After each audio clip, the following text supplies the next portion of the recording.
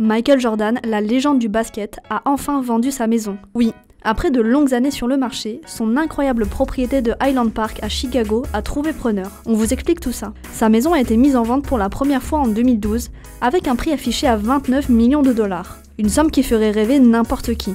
La propriété fait 5200 mètres carrés, avec un immense terrain de 3 hectares. Pour vous donner une idée, on y trouve même un terrain de golf, un vrai parquet de basket et une piscine à débordement. Et attendez, ce n'est pas tout. Cette maison est équipée d'un fumoir à cigares, d'un immense aquarium et même d'une salle de poker.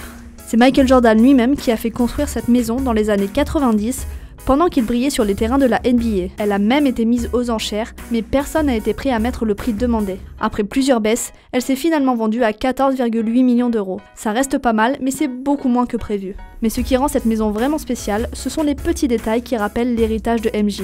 Par exemple, à l'entrée, il y a le numéro 23, emblématique de sa carrière. Et les portes, elles viennent du magazine Playboy. Alors, qui est l'acheteur de cette splendide maison?